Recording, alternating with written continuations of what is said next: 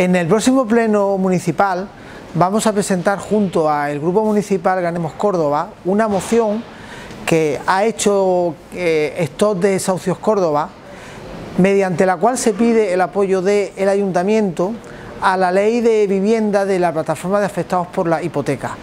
Este, esta ley ha sido redactada por los colectivos, por la plataforma de afectados por la hipoteca y los colectivos que la integran, para, en vista de que el gobierno no toma medidas eh, de manera que se acabe con la situación tan trágica que están viviendo muchas familias que están viendo que el derecho a la, a la vivienda digna está siendo conculcado, pues han puesto una serie de medidas para que sea aprobada por los grupos parlamentarios y le piden a los ayuntamientos que apoyen estas medidas. Estas medidas son cinco, se llaman las cinco de la paz. La primera medida es que haya una dación en pago retroactiva.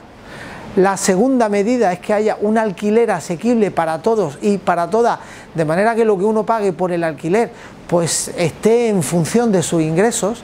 La tercera medida es que haya un incremento significativo de, las viviendas sociales en nuestro país. En nuestro país hay alrededor de un 1% de vivienda social de todo el parque inmobiliario que tenemos.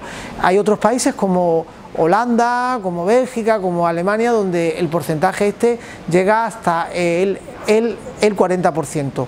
El no tener vivienda social es una limitación muy grande para las administraciones para que puedan dar respuestas habitacionales a aquellas familias que lo están pidiendo.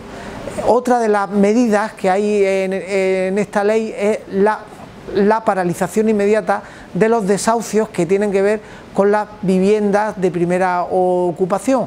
Se entiende que no se le puede dejar a nadie sin su vivienda mientras no disponga de una alternativa habitacional. Y la última medida es que se garanticen los, los suministros de agua, luz y gas en los hogares.